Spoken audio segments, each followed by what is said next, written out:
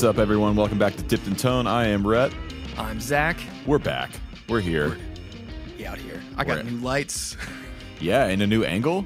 a new angle because uh, filming in a cube is uh, really hard.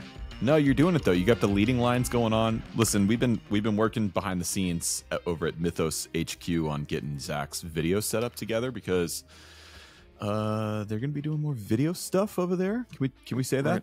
Yeah. Oh, yeah. We're, we're gonna try. I've uh, the poor Amazon delivery guy. every day he's just got a ton of boxes. He's like, "What are you doing?" Uh-huh. Yeah, I'm, like, I'm proud of you. It's like every everything that you've asked and, and I've given you advice on gear wise for for video and film, you've just gotten. It's like, Well- okay, cool. D- wasn't it you that said "buy once, cry once"? Buy once, cry once. Yep. so yeah, we got we got the uh, the UA uh, a four seven ten D for the mic uh, preamps. I got the the Amaran and Aputure lights, and uh, still got to figure out some of these other things because I still got some shadow, which is bothering me. Your But background needs a little bit of work, but that's all right. yeah, we'll we'll, there. get there. It's it's it's a it's a long road. But how are you doing, man? I'm good, man. We uh so my my friend Roofman, also known as Tice, uh, and his wonderful girlfriend Sarah are over from the Netherlands right now. Um I've been working with him for a few years now. I played on his record in 2021, then we went over to Europe and played on his tour and so now he's here hanging out and I'm producing his EP here in the studio. Even though it's a half finished studio, we're still using it. And uh, we've been doing that this week recording to the 388 we're doing it all on tape which is fun um you know had a good fourth of july tried to give the europeans a the most american fourth of july experience possible and i think we succeeded. Oh man, did you rent like four wheelers and like, get like the M16s and like shoot them off the back? no no. So okay maybe not the most american but we did over the weekend we did a braves game. Then we went to the lake for two days. Then we shot off a shitload of fireworks off the dock on the lake. Then uh we had a bunch of barbecue and then i smoked some wings and then we shot off some more fireworks drank a bunch of beer Man. america Man, uh, all all I try to do during Fourth of July is cover my cars so the neighbors don't get all the fireworks crap all over Mhm. our stuff. Because I living in a small uh, neighborhood really stinks. But um, yeah, I I I don't know. That's, that sort of thing just drives me nuts. I didn't. I always enjoyed the Fourth when I grew up, like in a small rural town, and like no one like you didn't really bother anybody, and no one really bothered you when you shot fireworks and were acting crazy. But when you're like, you know, shoulder to shoulder with a bunch of people, it just becomes like, what are what are these people doing? Yeah, Like, the older I've gotten, I've, I've actually become more like anti fireworks in the neighborhood and stuff. But we did it this year just because they've it, they wanted to do it, and we we were out Right. on a dock in a cove on a lake, and that was over the weekend. But the for the actual fourth, my neighbor across the street was like lighting off these giant mortars Mm-hmm. and that wasn't cool. It was like going off for an hour. My dog was freaking out. Phil's dog was freaking out, and we were like having to manage the dogs, and it was a whole thing. So, yeah, Yeah, firework responsibly. Yeah, there there have definitely been some neighbors in our uh like you know me and anyone that listens to this can probably tell I'm not very confrontational. But I'm argumentative, but I'm not confrontational. There's a difference. And yeah, and I th- there was there was some neighbors that had had I don't know, it looked like you could drop a basketball in it like a tube that launched the fireworks and it just sounded like a cannon was Like going off in the neighbor. Yeah, just it an mortar airstrike. poof. and um I I got up in the middle of the night, put my clothes on, and like drove down there and like banged on the door and told him to stop, which is like a that's a big thing for me. Yeah. But um, in in other news, we're just uh, uh, reeling from the fact that McKinley, that works for worked for us, is now going full time at Carter. He we are down a down a builder, but it's okay. But McKinley, we will be missed at the shop. Man, I didn't know that was happening. Yeah, he's our he's our shred master uh, general. He'll be missed at the shop, but there's always Call of Duty. That's right. Um, before we get started, let's uh, let's thank all the fine folks over on Patreon.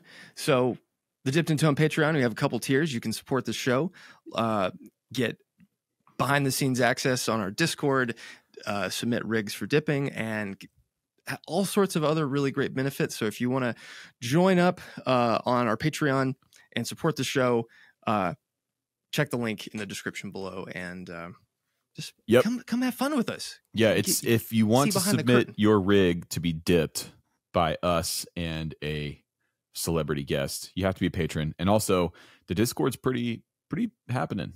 People over yeah. there are like, you know, it's a cool little community that's forming, and uh, you can listen to episodes live while we tape them. Get access to uh, special Patreon Q and A's as we put them up, and uh, it's just a, a good time. If you want to support the show, Patreon link down below. Uh, also, that there's merch coming. We're working on that behind the scenes. We've had a yes. few comments and, and questions about that. So, yes, we are going to be bringing back a line of merch. It's coming. We just want to, we, we're trying to figure it out to make it so that we can actually get really high quality, good stuff, you yeah. know, that people want to wear. So, yeah. And, and if you have any ideas or suggestions, please send them our way because, mm-hmm. Um, being creative and coming up with new design ideas for all that sort of stuff is very hard. So any any input is welcome. Um, but before we get on to our our fabulous guest, we also have to thank the sponsor of the show. That's StewMac. You can go to stewmac.com slash dipped in tone, get 10% off your order for anything you need to work on uh, really anything uh, equipment related guitars amps pedals all this stuff. I've seen uh, josh scott has been doing some build series uh, with their their kits and that's really cool. So if you want to get into like pedal building and uh, not dive into the deep end of all the part suppliers and all that really complicated stuff the do it yourself aspect in that way a StewMac kit would be a great way to kind of get your feet wet in the pedal building world the kit thing is cool. I've done it a few times myself, and it's actually it can be a somewhat economical way to get into a new pedal. If yes. you've already got even just a basic soldering iron and a little space to work, you can get these pedal kits, you know, of a of a fuzz face or whatever it is that you might be looking at, and build it yourself. And then you can get creative and paint the thing yourself, or or you know, change the LED color, do whatever you want. Uh, they're a lot of fun. So, StewMac.com. Yeah. Thank you to StewMac for sponsoring today's episode. 10% off link is in the description box down below. And uh, yeah, who do we have for today's guest? So, for today's guest, we have that that one guitarist that you've probably seen on Instagram, uh, oh, Mr. Yeah. Nathaniel Murphy, aka CME Zeppelin fame. Barnatra. Yes, genuinely one of, in my opinion, one of the best players out there today. He's so versatile. He's unbelievably skilled. Uh, if you if you don't follow him, do yourself a favor and go check him out on Instagram and TikTok too. I think he's on TikTok. So I think he's on all the things. We're gonna get him on Threads soon. But yeah, he... Threads Threads coming up next. but yeah, he's one of those players that you go how how is he playing both those guitar parts at the same time? Uh, and it's it's it's kind of mind bending to watch him do these the rhythm part and the melody part. Uh, it, it, it, it doesn't really when you first look at it you're like how it doesn't compute it, like for the most part. And anytime i've shown him to somebody they're like wait wait wait wait wait is someone else behind him like playing another yep. part? Yep. He's just a remarkable player and and what a nice guy. Without further ado here is our chat with nathaniel murphy nathaniel what's up man what's happening how's it going thanks for joining us dude no thank you for having me on honored to honored to be on it honored to have you how are uh, how are things? Things are going very well. Just uh, busy up here in Chicago, you know, demos and whatnot, and the usual, which is good. Summer season, so it's, it's uh, a lot of uh, big artists are coming through the store as well, which is good. You know. Yeah, has has Lollapalooza has that was earlier this season, right, or is it later this summer? It's, it's coming up. It's like the first weekend of August. So you guys are probably going to be pretty busy then. Yes and no. See, the thing with that is that it's kind of hard for artists who are playing there to come back, come to the shop and get back in. You know, it's a, it's a bit of a nightmare because it's such a huge event. Some some undoubtedly will, and we'll obviously we'll be reaching out to people to come in and check it out. But like some maybe some of the bigger artists, it's like you know they've got to leave Lollapalooza downtown. They've got to get to the shop, check it out, and get back in. You know, it's not impossible, but it's, it's a little bit trickier with Lollapalooza. You know when those events happening or are happening, is the shop just an absolute madhouse? It it can be. So Monday last week, Noel Gallagher was in the shop. on the Wednesday, Carlos Santana was in the shop. So it's just that, that, that was only Monday to Wednesday. How, how mad is that? You know, so and the shop in question, we should point out, is Chicago Music Exchange (CME). Exchange. Right? For those those of you who might not be aware, Nathaniel uh, has been with them what two or three years now. Well, two, the just over two years as a full time employee, but I was doing videos previously before that because uh, I was I was obviously a soccer coach over here, so I was uh, coaching soccer and then on the side, you know, doing demos for CME, which you know is an interesting mix. Yeah. Yeah. So if you've not been to CME, it's it's genuinely one of the most impressive guitar shops in the world. It's beautiful. It's huge. The selection of stuff they have in there is uh I mean just the number of Les Pauls that they have on the mm. wall. Yeah. I mean my do they still have the uh the Dove, the B bender? They said well it's not for sale, thankfully. Ah. Thankfully. I mean I think your video helped with that as well, I've got to say. it's, it's crazy because people will come in asking to see that guitar. It's like, yep, here you go. it's, it's That's awesome, cool. man. That's yeah. awesome.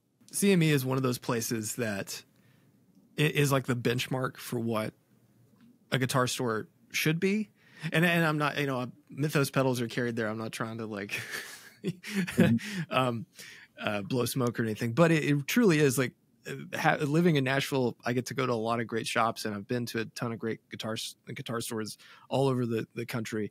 But when you walk in there, it's it's so it's just nice, and and they have everything. Unlike some shops, and I'm not naming names, but you walk in and um, just kind of a mess. It, you know, yeah. sometimes you get kind of a pawn shop vibe. Not that that's a bad thing, but CME is truly a destination. And yeah, if you've never been, like I think it's you have to go. If you yeah, I mean, you, you walk in, it's like an audible gasp. You know, when you when you walk in there, it's like fucking hell. You know, oh, sorry, I don't know. Should I not be a? Uh, no, you can you can say whatever you want in the show. It's just it's just a natural. Yeah, yeah maybe I'll, i should say that instead. But yes, yeah, it's, it's, a very cool place to work. So I'm I'm honoured to uh, to do that.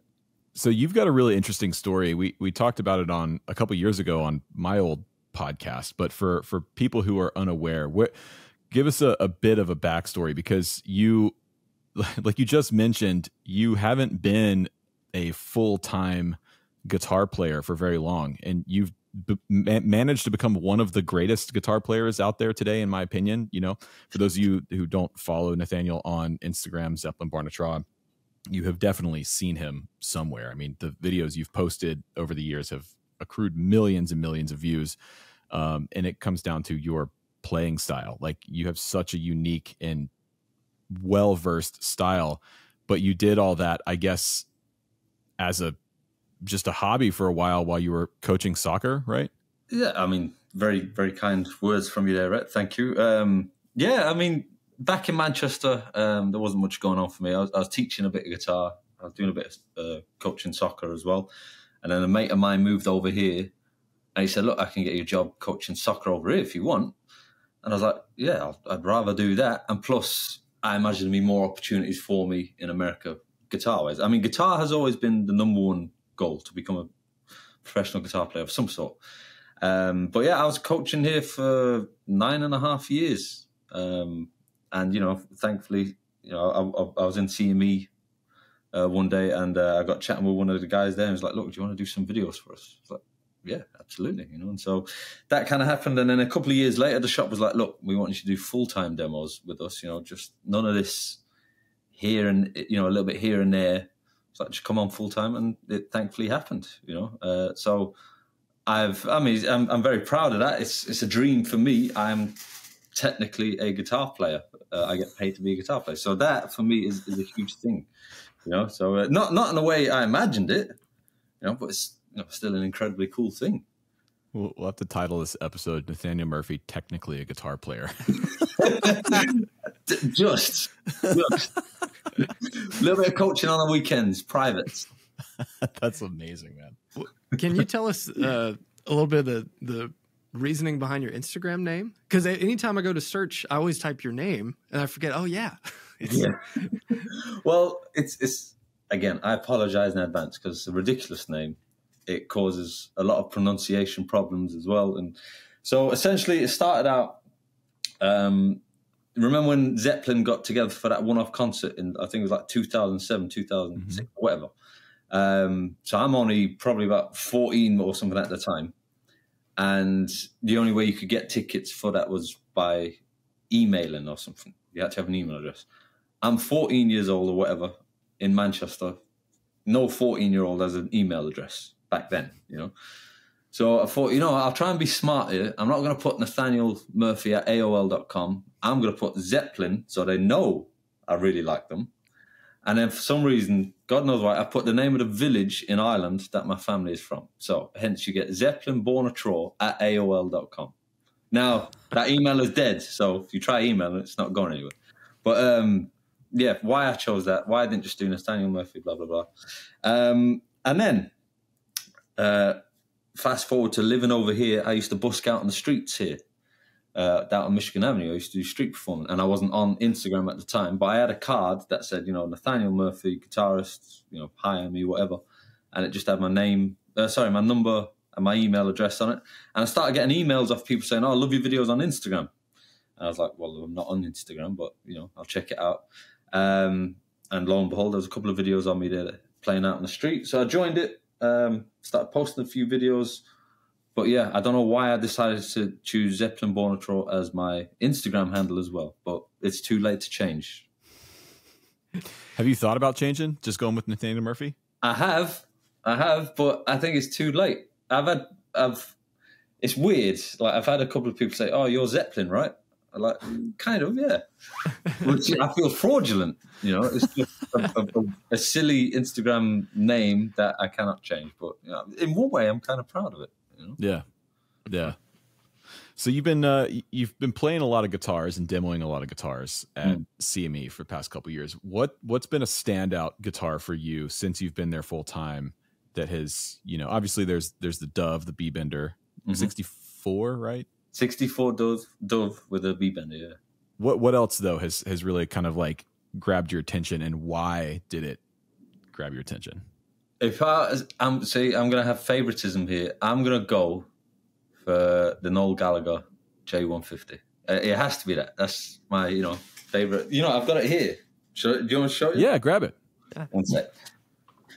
So this is my Gibson J150 uh, Noel Gallagher signature guitar. Uh, capo already on the second fret, ready to go. you know, it's uh, no. So it was. It's funny how it happened. The shop managed to get a hold of one. They didn't tell me it was going to be mine. It was for a demo for the release, and I, so sometimes I get to bring the guitar home to you know prep for demos, you know, work and stuff and whatnot. And uh, I remember texting the boss and a few people at the shop saying, you know, can you reach out to whoever, whoever bought this? Are they local? Would they mind if I borrowed a guitar just to do some videos at home? Because, you know, it's an amazing guitar. And they were like, oh, I'm not so sure, blah, blah, blah. In the meantime, they're taking screenshots of that message and sending it to each other because they, you know, at the end of the video, they surprised me with the guitar saying, no, it's actually for you. Um, so that will always be my, my favorite demo. And uh, like I said, I got to meet him the other day and look at that. Yeah. Yeah, look at that. So very That's cool. great. I've got, I've got to try and get that lacquered or something. Got to try and protect that. But yeah, so that's that's up there. But in terms of like you know vintage guitars and whatnot, um, let me see. I mean, there's always a couple of strats coming in that are great. You know, we we had one this week at the shop. I haven't done the demo on it yet, but it's a '63 Strat, and I swear to God, it looked like it was a month old Mm. it looked literally pretty much brand new. So it, it's crazy what you'll come across and what people want to sell. You know, um, yeah. There's always cool stuff, even pedals as well. Um, we had, so I, I was honoured to play it. I probably made a fool of myself on camera with it. Uh, we got a tube screamer that Stevie Ray Vaughan used to use. So one of his Nice. actual, obviously, I'm sure he used many over the years, but uh, so I got to play one of them. But yeah, there's always there's always cool stuff coming in. Yeah, a shop like that with its its notoriety and its size. I mean, I'm sure at this point it just attracts stuff. You Yeah. know, it's just so well known for for selling that kind of stuff that people just send it there. So Oh, of course. yeah. So what was it like meeting one of your heroes last week? It, it was. I mean, it'll always be very special to me. And I, I wasn't like, let it be known, I wasn't like a fanboy. I wasn't like, you know, I didn't melt when I seen him. Um, he's, and he's the nicest guy you could meet. You know, let that go on record as well. He's just the coolest, down to earth person you could meet. Um, now, I mean, we don't know each other. Like we don't have phone number or email or anything like that. But we we actually had a lot in common because we grew up. You know, obviously he's a bit older than me. We grew up probably about a mile, less than a mile from each other. Wow. Went, went to the same schools. Used to go to the same. I used to go to the same church that was part of his school. Uh, from the same part of Ireland as well. Um, he knew all the pubs in between houses. Like I said, it's less than a mile apart, so um, a lot in common. You know, I, I, don't claim to know him or anything, um, but let it be known, the nicest guy you meet. He's very friendly, very nice. So, a very special day for me because he made me want to pick up the guitar. Again, very lucky, very lucky. So, and I got to see him play the, uh, the next day with the High Flying Birds. Great concert. Well, luck is when preparation meets opportunity, right? so they say, you know. Um, I suppose in one way, I kind of worked hard to get to where I am at CME. You know, I, I did put in the hours practicing, and lo and behold, thankfully, opportunity arose. Um, right. So a, pr- a, proud moment for me, and you know, again, i am very fortunate that I've gotten to meet a few people that I've always looked up to. You know, uh, I remember Chad Smith was in there last summer. I was like, again, a bit starstruck, but again, just really nice people.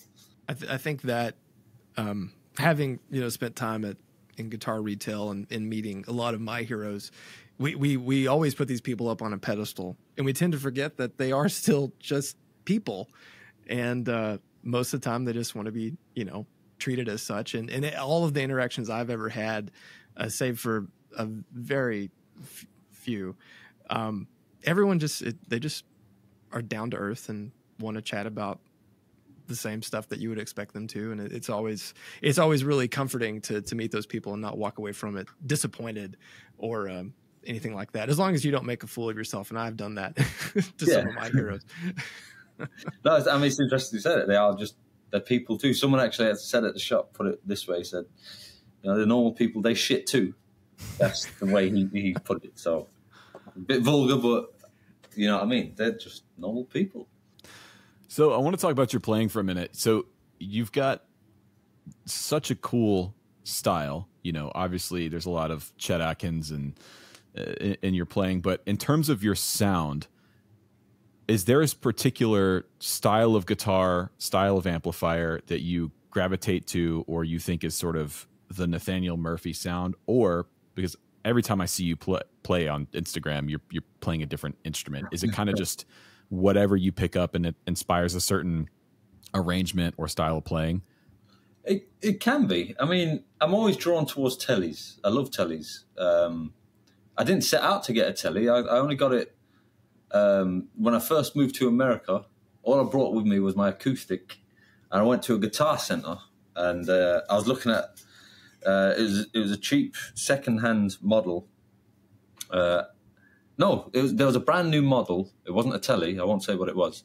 Um, and one of the guys, I got to know one of the guys there, said, Don't buy that. You're going to regret it. And so he pointed me in the direction of a second hand, like a used telly, like a 2011 telly. I was like, you know, I'm not really into tellies, but he said, no, look, you're going to like this. It's really good. And, you know, it's my go to guitar. So I've, I've, kind of fallen in love with tellies from that. Because, I mean, that's such a versatile guitar, you know. Um, I would, if if I could, I'd like to get a telly with a humbucker in the neck. I'm always uh, always a fan of that. Um, but yeah, in terms of a sound, I don't know really. I mean, I, I'm very simple when it comes to to what I like. I like you know loud, clean amps. I do like reverb in an amp. Uh, I must say. for some reason, if there's an amp without reverb, it's like but that's just me. You know, some people prefer them without as well. That's you know, everyone's different. But yeah, I, I love tellies. I love uh, ES. Uh, I can't remember is it three three five or three five five. I always get confused. Um, very simple. You know, I like I like some pedals as well. I like delay pedals. I'm a huge fan of the Edge. So if I can try and emulate the Edge, that's always fun for me. I do like uh, a couple of fuzz pedals, overdrive. Uh, yeah, in terms of the style, I don't know. I don't know how to describe it. What? So, if you could dive in a little bit deeper on the telly thing, what is it about the telly that kind of grabbed you at first, and then what keeps you coming back to that guitar? Well, on my particular model, I fell in love with the feel of the neck. Um, now I don't know what type of neck it is. It just feels great to me. You know, I've picked up some tellies before, and it's like, oh, you know, it's good. It's not quite the neck that I, I prefer. You know, um, I love the simplicity of it. You know, there's a lot, not a whole lot going on. There's sometimes where it's, where it's like I wish it could do other things. You know, maybe it'd be nice to have a humbucker in the bridge, but then it's like I lose that single coil telly sound. It doesn't become a telly anymore. You know, I love that to do like the chicken picking and stuff uh, on the bridge. Um, but then I love the middle, like the, the, the middle pickup sound, combining the two. I think that's got its own unique taste and flavor to it as well. Um, and then, it's one of the coolest guitars kind of ever made. You know, some of the best players in the world played them. So if it was good enough for them, it's good enough for me. I do think if you were going to have one guitar to really do everything, like you, you've got one electric guitar. Mm. For a long time, you know, I think the 335 is up there as one of the most versatile guitars ever. But I think if you really, really boil it down, the Telly is probably the most versatile electric guitar out there, at least in my opinion. But I'd, I'd have to agree. I'd, I'd, it would be, yeah, it'd probably be between those two. Go. You know, it, they can jazz, they can they can rock and roll, they can swing. You know, you can you can do jazz on it, bebop, whatever. You know, bit of everything. And they're super reliable too, because like unlike a Gibson, they don't have most of them don't have the tuning stability issues. They're not as susceptible to you know swings in temperature and and you know it's basically was it Brad Paisley that says it's like a cutting board with a neck on it, and you know, there's not much to it. It's an incredibly simple design. It just works, man. Yeah. I don't like him that much. Oh, jeez. oh, here we go. of course. Well, now, now, you got to tell me why, though. You got to say. Well, I know this is fine. I, I, like. I just. um I think for me, uh I'm just a Les Paul guy and and, yeah. and, and a good PAF guy, and, and I would choose a 335 for sure. Um, but just because like it's just a comfort thing. There, like a Telecaster is not as comfortable for me, and and I just like a little more heat coming out of the guitar. But I also I'm one of those weirdos that I can play without reverb. I I, I don't I I like like just making my own reverb. That's what I used to say when I when I gigged. If I'm loud enough, I'll make my own. But uh, yeah, I don't know. I, I I'm not. I, I think I always come across as contrarian Tourette, and it's not my intention. No, I like. I just I don't know. Like to me, there's a reason why all the dudes that played Tellys back in the day switched to Les Pauls. I mean, I agree. I do. I do like a. If I'm gonna like play something for myself, I'm probably gonna play a Les Paul. But I'm just yeah, saying, right. if you if you really could only have one guitar and you had to play a bunch of different styles and a bunch of different stuff, and it needed to be reliable, and all, I think a Telly is is the move. That's all I'm saying. Les Paul. Yeah. But that's all I'm saying. But what did, what did you what did you grow up playing? What what type of what was your first my first guitars were were always Strats, uh, yeah. and that I think that's because like I idolized um, Clapton and Stevie Ray Vaughan and all of that, but then it never felt right until I got I really got into playing Les Pauls and, and, and in particular carved tops because I had a special and that sort of thing. Mm. But moving into the the actual maple cap sort of real Les Paul. It kind of reset my brain into how I approach the instrument.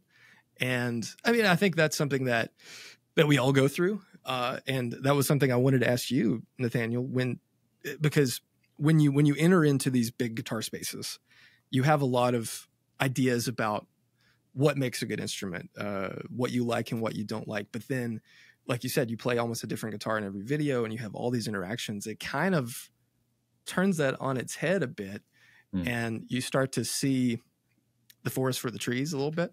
But has that happened to you? Like having gotten your hands on so many things, has it uh, taught you way more than you thought it would, or or flipped any thoughts on its head? In, in regards to what type of guitars I like, like style of guitars, do you mean, or or, or yeah, like what like what makes an instrument viable or uh, what you what you liked or didn't like. Oh, um, okay. Um, I mean, a few things. I mean, for me, it's got to be comfortable to play. It's got to be easy to play. You know, I don't want to have to fight to play a guitar. Um, because if I have to fight, I'm not going to play it. You know, it's it's just going to be a nightmare. Now you could argue, well, just get a proper setup or whatever, and that's that's fine. But you know, there's, um, I mean, there's a lot of things at play. You know, the, the neck. Like I remember, there, I seen a Danny Gatton telly in the shop. They used one. I was like, you know, a Danny Gatton telly. You know, a huge fan of Danny Gatton. The neck was the biggest neck I've ever come across in my life. It was like, you know, the people often say, "Oh, it's a baseball bat." This, I mean, it was it was bigger than that. It was crazy. I, I, couldn't play it, and I'm not. I'm not. I don't get too hung up on you know big necks or skinny necks or whatever. Um, so yeah, then it's got to be comfortable to play. It's got to feel nice to play. You know, sit. You know, can I stand up and play it nicely? Can I sit down and chill out with it? Can I be on the couch strumming away and be comfortable with it? Um, I mean, there's so many different variables. You know, is it going to be like a big jag, uh, jag, jazz box? Is it going to be like a Super 400? You know, massive, mm. where I've got to, you know, lean over the top to see what I'm actually doing, or is it like a, has it got a vintage Mosrite or Mosrite neck? You know, where it's that the neck is that skinny. You know, the, it's just down to taste and preference. I think, but I think for me, the main thing is it comfortable to play and does it sound good? You know. Mm. I, I'm very much I don't like the argument of like you have to fight a guitar. I don't think I, I, I don't I don't buy into that personally. Like mm. I think cre- the creation should be a fight like up here, but yeah. I don't think your hands should ever have to fight your instrument. Yeah. So I'm with well, you on that one. Now, in one sense though, there's probably a lot of famous riffs and records that have come about from having to fight on a guitar. You know, it could have maybe been a slide riff that was like, look, I'm, I can not fret any of the notes. I've just got to play slide in it, and lo and behold, you know, an amazing song has come from that. You know, yeah, I mean, Jack White talks about that all the time. He he sort of wants the whole experience of not just music creation, but you know, the playing music live to be a fight. I remember watching It Might Get Loud for the first time, you know, 15 years ago, whenever it was, and hearing him talk about that with the white stripes, like, I want to put the organ like a, a, step farther away or have the guitar be, you know, and I guess for him that that works. You know, whatever it is in that struggle, it it creates you know some really iconic stuff. So although I agree, I don't want I don't want to fight my my guitar either because then that that like pulls me out of the any kind of creative mindset I have. It just it's not it's not for me. So you you mentioned earlier you're a fan of the Edge. Mm-hmm. I am too. I love the Edge, and I find that people like us that are fans of the Edge and guitar players have to like defend him a lot with a lot of other guitar players online. People seem to, to, people talk shit about the Edge all the time. Like he sucks. He's the worst guitar player. I couldn't disagree more. I want to hear what do you why do you love the Edge so much, and what would you say to someone who think who thinks the Edge sucks? I mean, this this is a hot topic. Maybe not at the moment, but over the years, like if you you could put on a record and you'd know it was the edge. Oh, there he is. That's a, that's an edge ism. You know, that's that's the edge doing that. It's like if we, as guitar players, we're, we're always trying to chase our own sound, try and be unique. There's not a lot of us that get to do that. You know, only the the best of the best have managed to to get there. You know, you, you could even now in his case, it's like his use of delay and you know pedals and such. And you could say the same for Tom Morello as well. It's like, mm-hmm. oh, that's Tom Morello, you know. Or you could go the opposite end, and it could be Slash. You know, very little pedals, but he's got that tone and his style of playing. Oh, that's Slash right there. And then when people are, are shitting on the edge, it's like, look, man, you know, he's got his own sound. What have you got? Can you do that? Have you created your own sound? Have you, you know, sold a billion records, you know, from that? No, you know. I don't know. Maybe that's just me, but I've never understood understood hate on anyone who's got got their own sound. It, it may be even a person that you're not necessarily into, but they've got their own recognizable sound. But you have to respect it. You know, mm-hmm. not shit on that. How how people could bash the edge is kind of beyond me because, like, just, it's always been in service of the song. Yeah. But even then, the riffs are great, the tones are great. Like I don't, yeah. Like I, what's there to not like about? Well, I don't, I don't get it. People say it's it's like too simple or if you take the effects away all he all he does is play effects and if you take the effects away he's playing like really basic elementary stuff and to me that's even more of a sign of his brilliance as a musician and a writer because yeah. he he's arguably one of the best in my opinion guitar players that can play to the song and the the ability to use all those effects and use those sounds and tones to create the part to create the color or whatever it is that goes into the song i think is brilliant. And to your point nathaniel like what what have you done? Like where's yeah. your you know tr- multi-platinum sell, selling albums on the wall? Like yeah. you know? Yeah. Yeah i've i've never understood that that hate. It's uh it's a shame really. But i mean people are entitled to their opinion even if it is wrong. Yeah of course of course I was gonna ask, like, what are you listening to these days? Like, what's what's getting you excited about guitar? Who who sticks out to you? Is like you go and listen to someone, or you see someone on Instagram or whatever it is, and makes you want to go pick up the guitar and play. Well, that's the thing. I mean, it's it's sometimes they make me want to pick it up, and sometimes they make me not want to pick it up. So there's a fine line, but it's uh, I mean, that's the trouble with Instagram. Sometimes these days, it's like there's so many amazing players out there. So just off the top of my head, um, I've seen so Justin Derrico, guitarist for Pink, outrageous player. I was texting him this morning. It's like, look, man, you got to show me some of those licks from your videos. Uh, so he's going to be in town soon. So hopefully, I'll I'll get to meet him. I'd love to. Um, I'm really trying to get back into my uh, shredding. Um, so I, I seen a Stephen Taranto, I think is, is how you pronounce his name. Just astonishing, you know, player. Um, I know it's not for everyone, but I, I, like a bit of everything. So him, um, I'm really getting into uh, Michael Romeo. Um, I think he's, uh, you know, one of those underrated names that you know I didn't hear about until maybe a, you know a number of years ago. Um, played with Symphony X, and he's got his own stuff, but astonishing technique. And he's got it all: legato, alternate, picking, sweeping.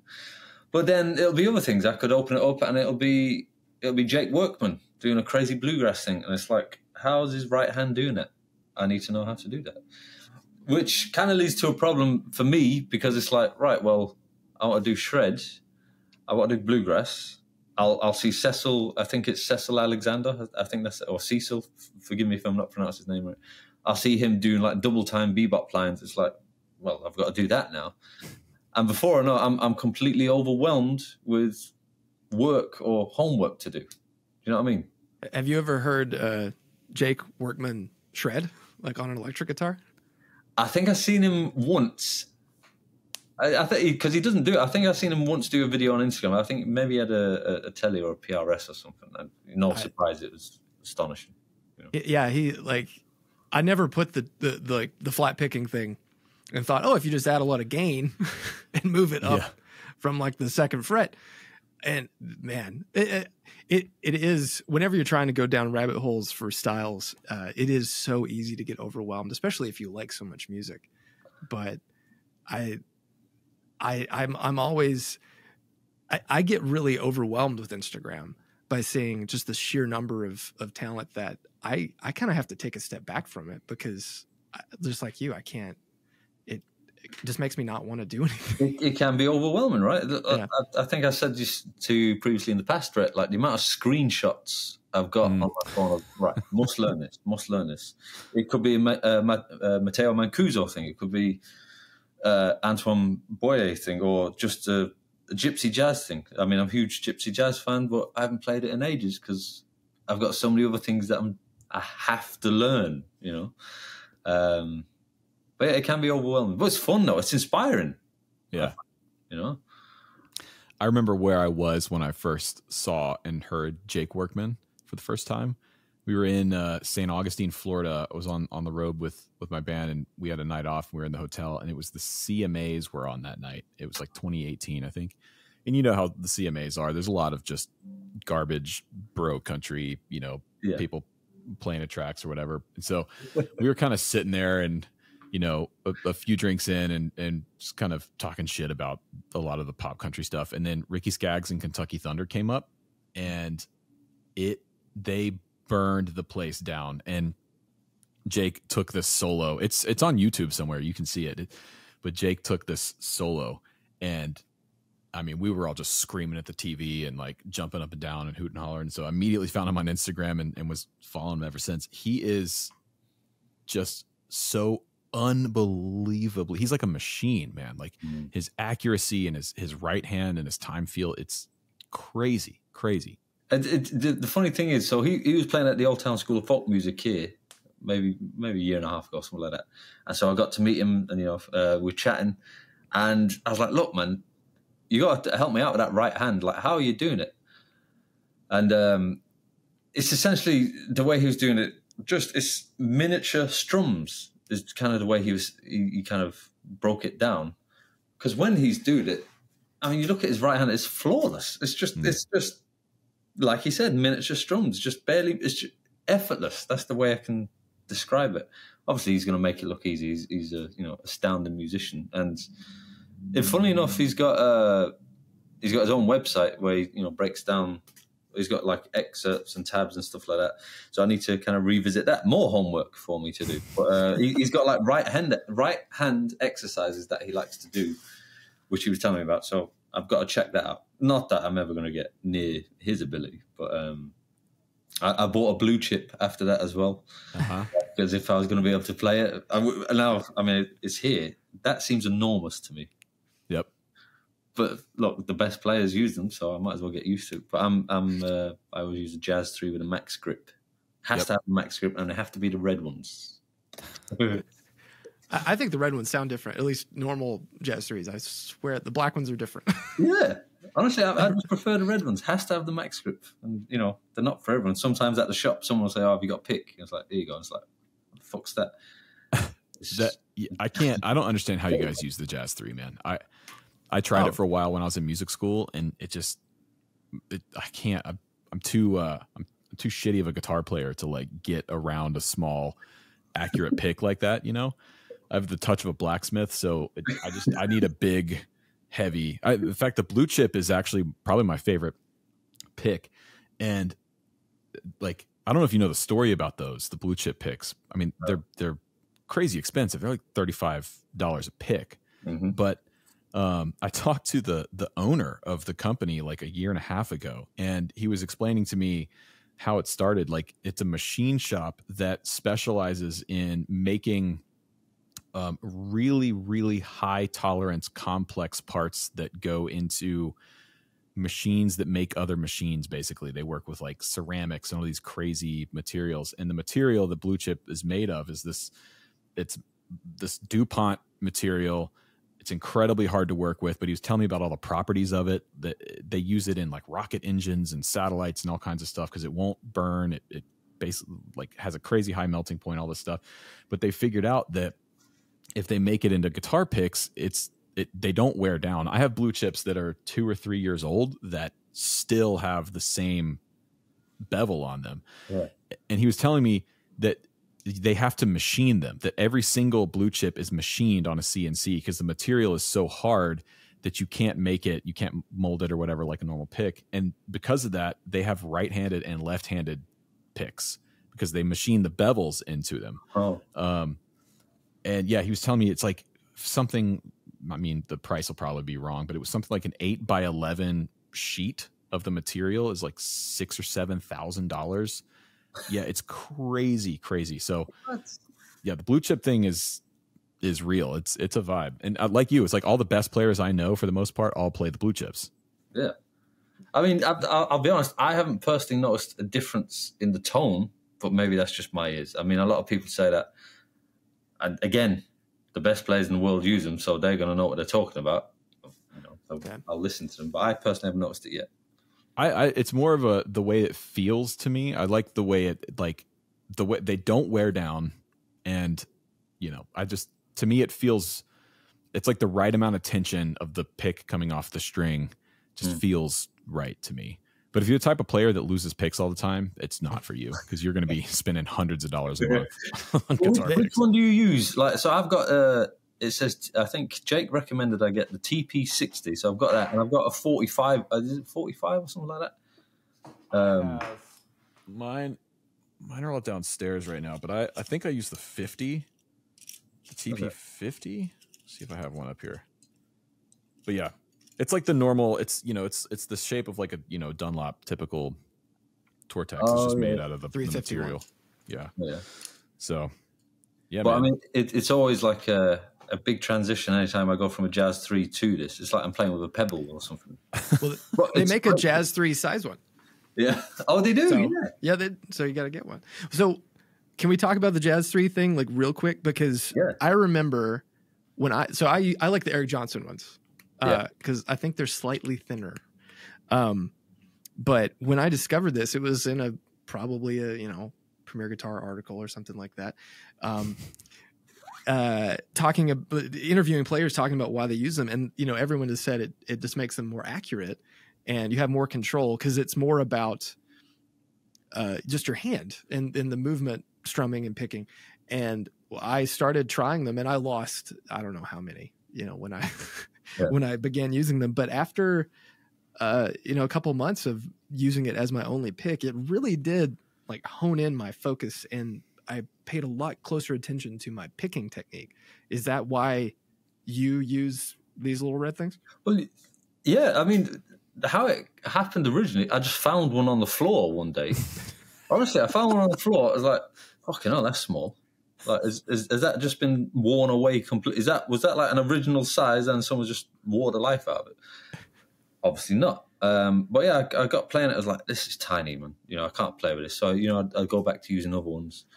But then for some reason, I kept getting drawn back to it, and it's like you said, uh, it's just more art- for me, and I think a lot of other people. I can just be more accurate and more, more articulate with it. You know, I'm, I'm closer to the strings, and also like if these are the strings, it's not going, it's not going that that far down. You know, with other ones, ends up down here. But now, if I'm doing like the whole string escape, you know, Troy Grady kind of stuff with alternate picking, it's just a lot easier for me.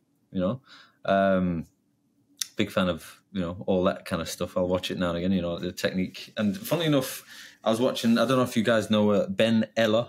Yep. Uh, yeah, Uncle, Uncle Ben. Ben. Great guy. I've, I've never met him. I'd love to meet him. But uh, I He's a remember lovely seeing- guy.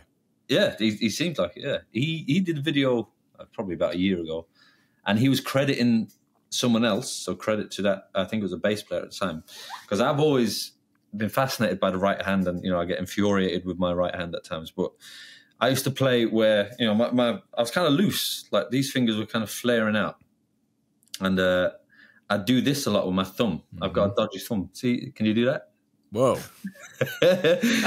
you see, I've, I've got a bit of a dodgy thumb. That um, that's my excuse. But so yeah, I'd, I'd be trying to do like alternate picking, and my thumb would just be wiggling all over the place. So and that can't have helped me much. But uh, I remember seeing his video, Uncle uh, Uncle Ben, Uncle Ben Eller, and he there was a video where if you if you took another pick in the last two fingers, just close it enough where it doesn't fall, and just relax and work on that. You know, there's, there's less kind of motion or weight, excess weight, I suppose. So if you were to clasp the pick in the last two fingers, just hold it. Don't clench it. Just hold it enough where it doesn't fall out, and that's a good position for your for your right hand. Oh. If you try that, it I'm telling you, it, it changed a lot for me.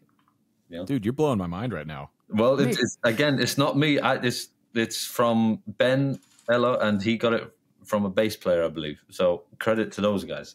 But try it, and you'll be you'll be surprised. Honestly, Yeah, because I play with my right hand when I'm playing, and and I only really notice it because I, you know, editing videos of myself playing. I noticed that I kind of like tuck my fingers up like that out of the Yeah. way, and it puts this tension in my hand that I guess limits the range of motion in my wrist. But that feels like even just doing that, it's like, Yeah. oh yeah, okay. It even I, feels uh, more accurate right here. yeah, I started doing something similar when I I started using my fingers more. I'd tuck my pick, and so I would use my fingers and keep my my you know pinky and ring finger kind of fixed. But Mm. yeah, that's interesting for people that are struggling with because I because I always kind of have like a fist almost. But I see friends and they play with their fingers out and I'm like, hey, put those down. yeah. I mean, it's interesting because obviously there's a lot of players who have an astonishing right hand, and they're like the complete opposite. Like they'll be, it could be uh, Mike, uh, Michael Angelo Batio or Batio, I don't know how you say his name, or it could be Marty Friedman. You know, completely different, and they, you know, astounding players.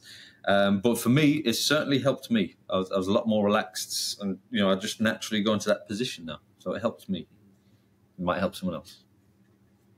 Yeah, I think some of that stuff, especially watching you know bluegrass players and then gypsy jazz players, it, you, you can learn a you can infer so much about how you can kind of focus your picking hand Mm. um, based off how they move their their hand in their whole arm. I mean, gypsy jazz is like an all in Oh. like a shoulder thing, It's- and it's yeah. it's remarkable how those little changes can change your style dramatically.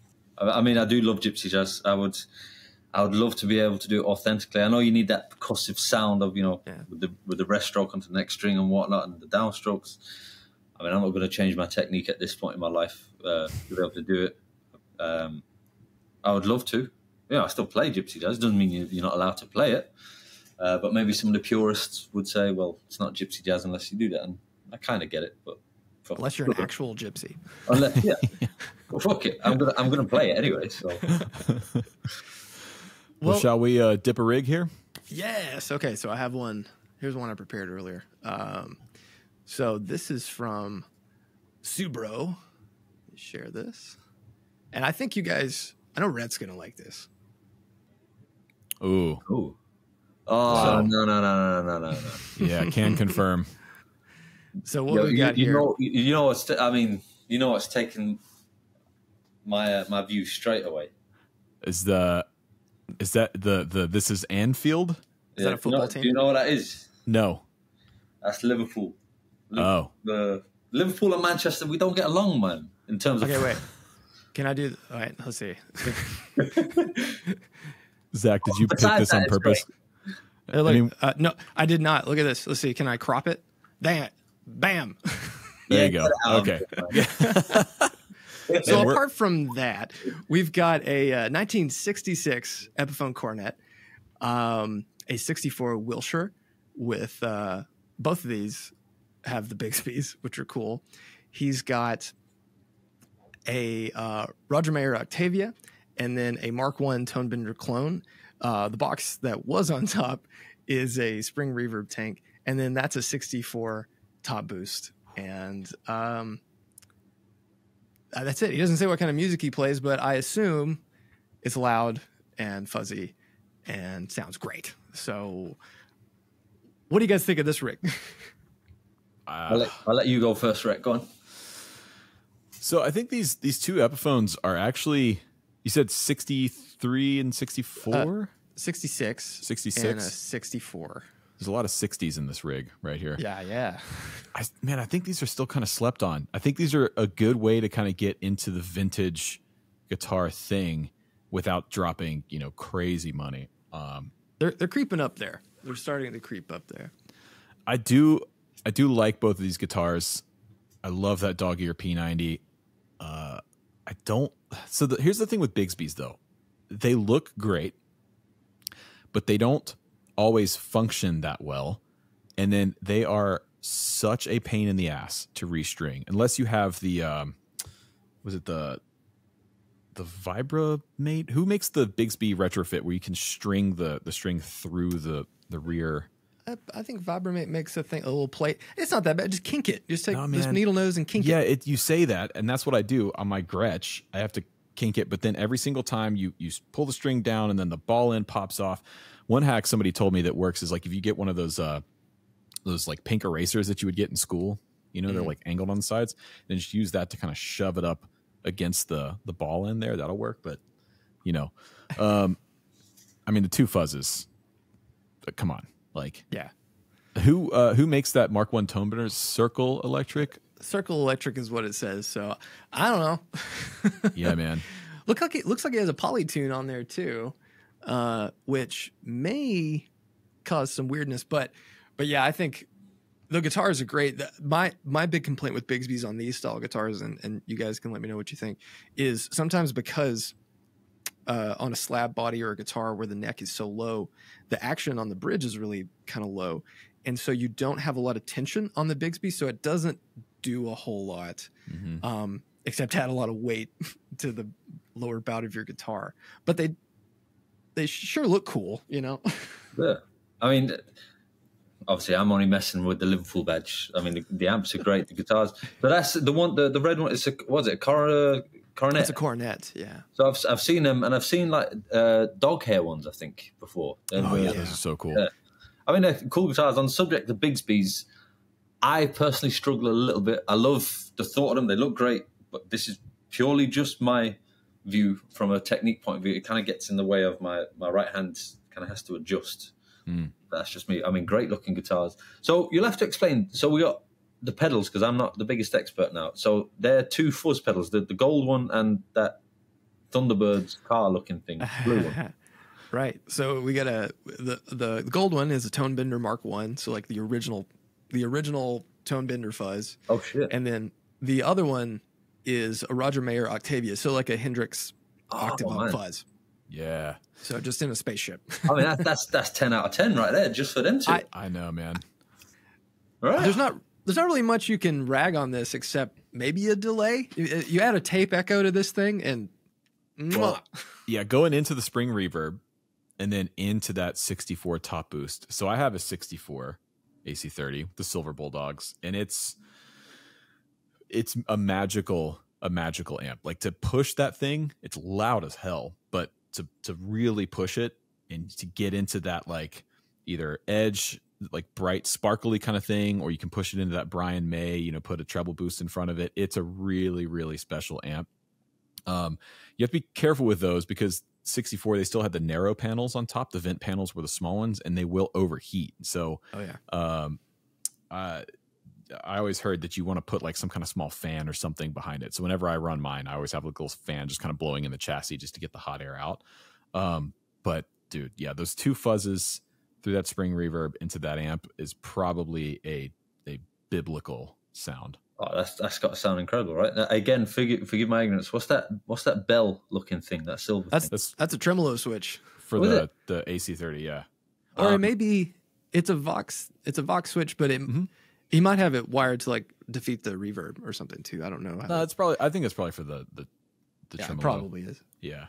Uh, Yeah, apologies, I sound like such an amateur with this stuff, but I mean, No. to have like those pedals, that amp, the guitars, I mean, that's a pretty cool setup. I, I mean, I, I can't judge anyone's rig, man. So yeah, you can. Yeah, yeah. No, you totally can. That's why you're here. Uh, so one one of my favorite things to do, I talk about this all the time with oct- uh, octafuzzes, uh, especially on a neck pickup, a guitar with a neck pickup. Go to the neck pickup, turn the volume all the way down. It's different for different guitars and different fuzzes and stuff, but you you find this sweet spot inevitably where you get this sort of huge ring modulation kind of funky sound where the fuzz and the the octave isn't quite tracking just right and then certain harmonics and that that upper har- uh, upper octave will jump out and you you can get the coolest sound out of an octave fuzz. Even if you're not into fuzzes you know i, I think that's a, a really really inspiring sound. So only thing i would change here for this rig is i want some kind of delay. Yeah. uh and with this rig being what it is i mean i would just say to hell with it. Get a get a tape echo. Get a real one and just Right. stick it on top of that reverb tank and go to town.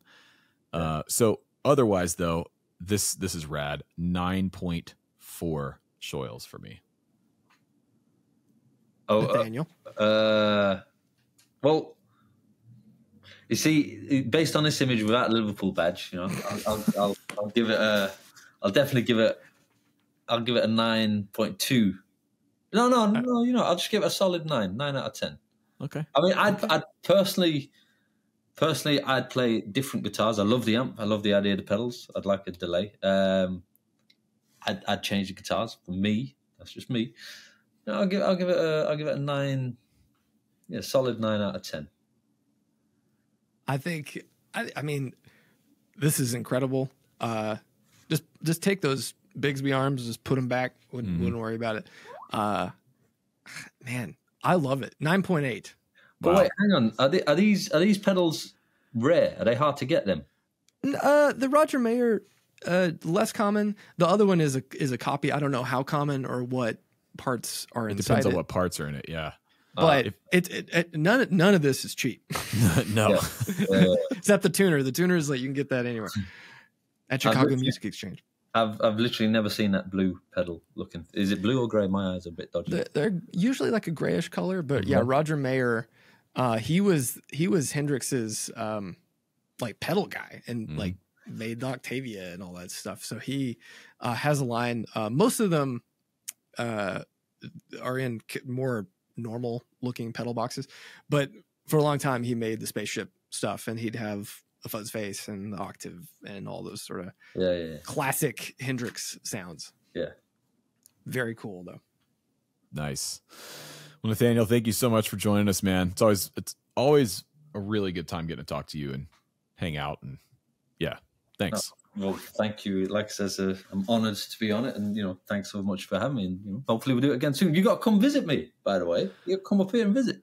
I know, and you got to come to Atlanta because we've been I talking do. about doing something for a little while, so we need to get connected on that. Not at this I'm time of the year though. It's a bit too hot for me down there. Come to Nashville first, and then Atlanta. It is. I can't. It is hot as hell down here right now. Yeah.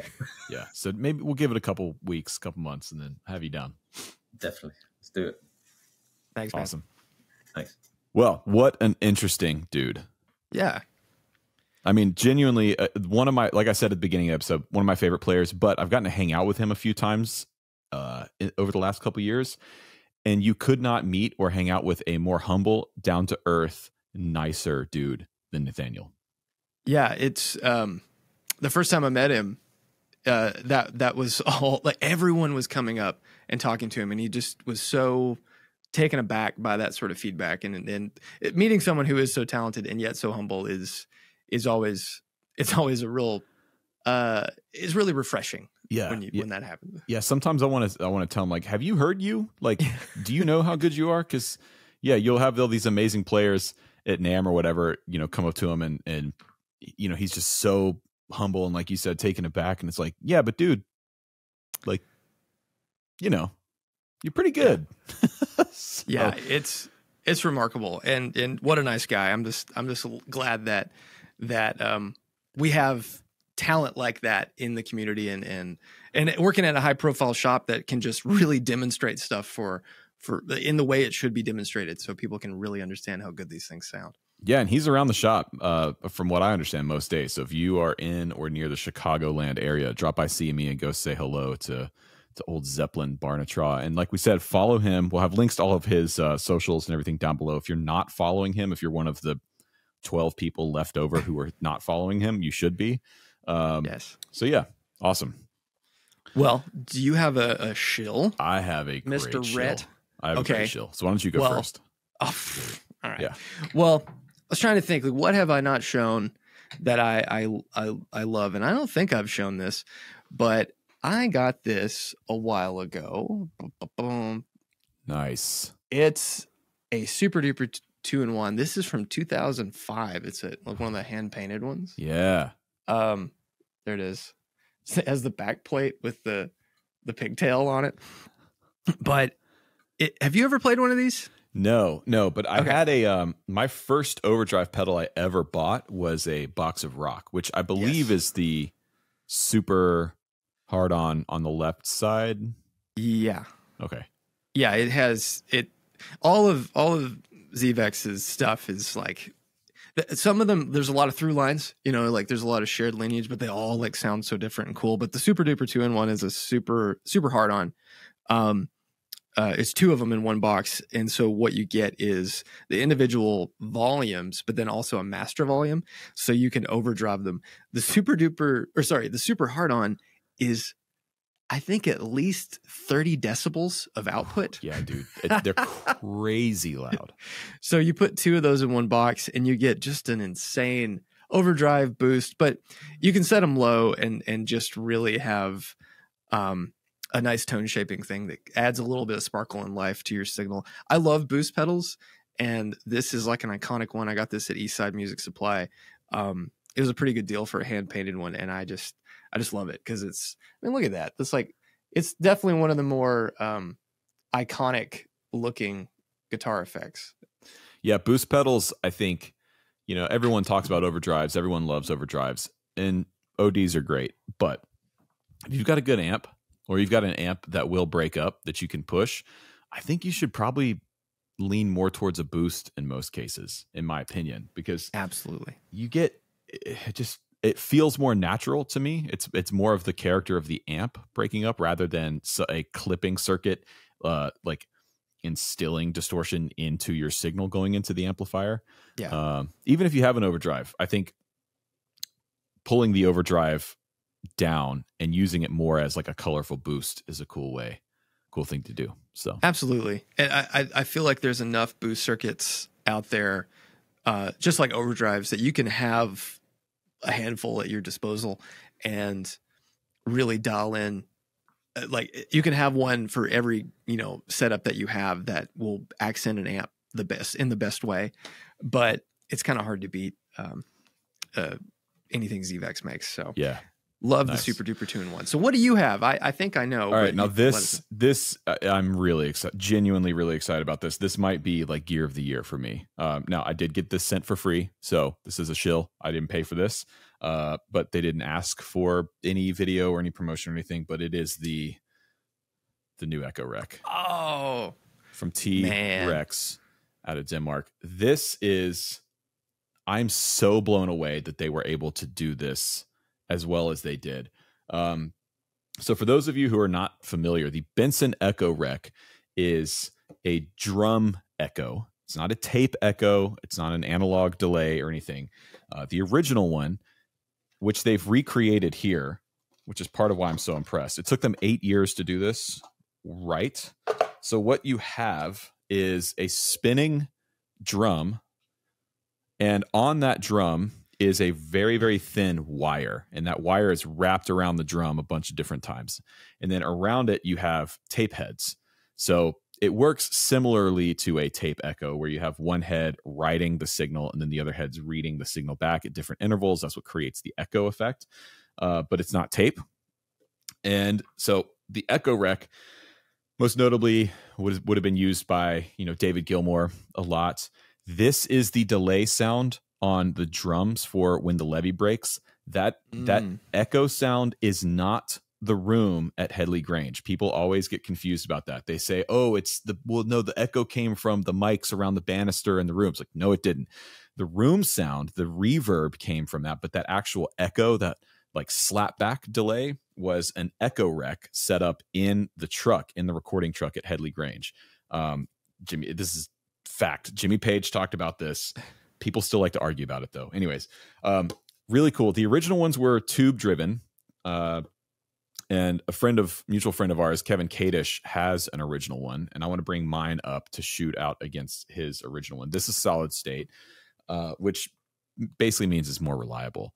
Um, Yeah. Original ones are ridiculously expensive, and they're hard to maintain. There's a f- only a few people out there that can maintain them properly.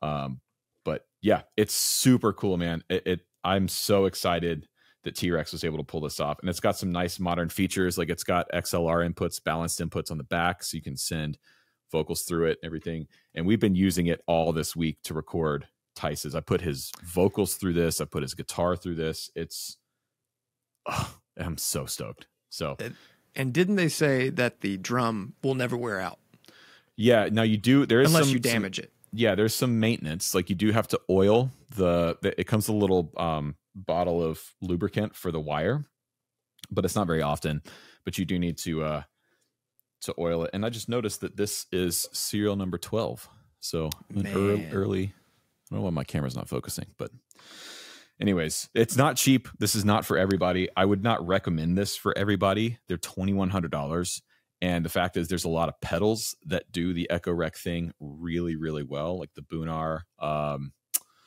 oh, what's that Boonar pedal called? There's a Uh, Boonar Echorec, the the Strymon. Uh, wh- why am I blanking on the name of the Strymon? I can see it The right there. Oh, oh, No, uh, the, the- the Volante. group- Yeah, the Volante. That is supposed to be an Echorec, basically. Yeah. Um, well, I heard you play that one. Well, not that one specifically, but that pedal uh, unit. It's not even a pedal, really. At um, at NAMM, and it it every everyone asked. That was one of the questions I got asked the most after this last NAMM. Like, how good was that Echorec? Like, it's really good. it's really, really, good, really man. good. It's really good. I plugged it up and was doing the Run Like Hell riff. oh and yeah, it's it's the sound. It it is the thing. Yeah. Um, so again, it's a bougie piece of gear. It's not for everyone. I wouldn't recommend this for everyone, but if you are like me and you're a nerd for this type of shit, like old school analog echoes and stuff, it's really cool, man, and it's really good. Next So- step is that uh, those WEM cabs, Dude, and uh, man at atlantic discount my shop near me uh there is there was two rick bought one but there's a 72 Hiwatt cab with the original fanes the purple back Oh. fanes uh and they're in great condition i'm thinking about going down and getting the other one but just what Yeah. you need. yeah another 412 Well, um, let's let's thank our our patrons over on Patreon one more time. If you guys want to learn more about supporting the show and all the perks and uh, membership benefits you get over on Patreon, hit the link in the description below and uh, check out the tiers, support the show, and uh, join the community while we're um, you know recording these episodes. And Great to have uh, another big thank you to the sponsor of today's episode, StewMac You can get 10% off your order at stewmac.com via the link in the description box down below. Still waiting on someone to buy that Go Bar deck. I don't know if it's going to happen or not, but go get Well- a pedal kit. Get a pedal kit, yeah, and uh, paint it, Yeah. and then sh- send it to us. I'd love to see it. someone get a pedal kit, paint it with a dipped in tone theme, and tag us in it. It doesn't have to say dipped in tone, but like something from the show, you know, whatever. Tag us in it, and we'll uh I don't know, we'll do something. We'll figure out something to do. Oh man, that would be great. Have a like a Shoyles Industries one. Oh, sh- dude, s- yeah, yeah. wait, wait. Okay, hold on. Hold on. we got to talk about this off yeah, we got to workshop. All right, everybody. See y'all. Bye.